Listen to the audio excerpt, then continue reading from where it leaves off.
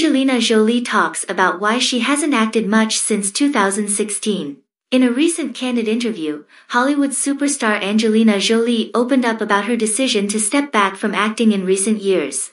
The actress, known for her iconic roles in films like Tomb Raider and Maleficent, has been noticeably absent from the big screen since 2016.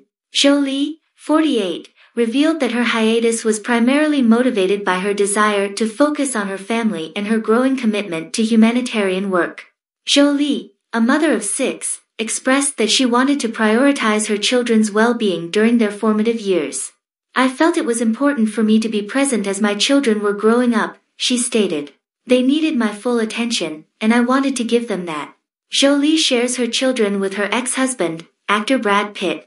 Additionally, Jolie has dedicated herself to humanitarian efforts, serving as a special envoy to the United Nations High Commissioner for Refugees, UNHCR, and actively advocating for the rights of refugees worldwide.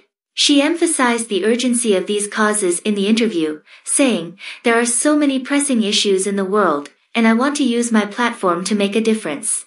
While Jolie has taken a step back from acting, she hasn't abandoned the industry entirely.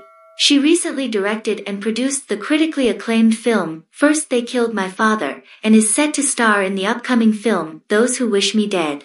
However, she remains selective in her choice of roles, prioritizing projects that align with her values and mission. Fans of Angelina Jolie eagerly await her return to the silver screen, but in the meantime, they can admire her dedication to her family and global humanitarian efforts, which continue to be a defining aspect of her life outside of acting.